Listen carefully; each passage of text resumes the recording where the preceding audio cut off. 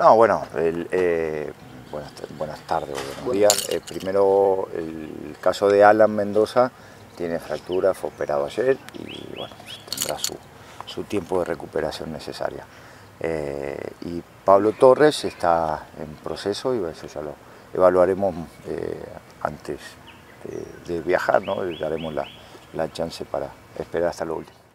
Partido muy difícil, sí, sí es una cancha que también no, no es, eh, hace mucho calor, el piso no es muy bueno, eh, no sé si estará mejor o si se haya recuperado. Nosotros, a mí me tocó jugar la última fecha y no estaba en buen estado, pero eh, más allá de eso creo que tenemos que adaptarnos a las circunstancias que sea, pero sí sabemos que va a ser un partido muy difícil con un rival que hizo un buen partido el primero de visitante, pató, sacó un, buen resultado y que tiene jugadores de peligro, jugadores de experiencia, así que bueno, esperemos que con nuestras virtudes y nuestros defectos podamos eh, conseguir hacer un buen juego y conseguir puntos.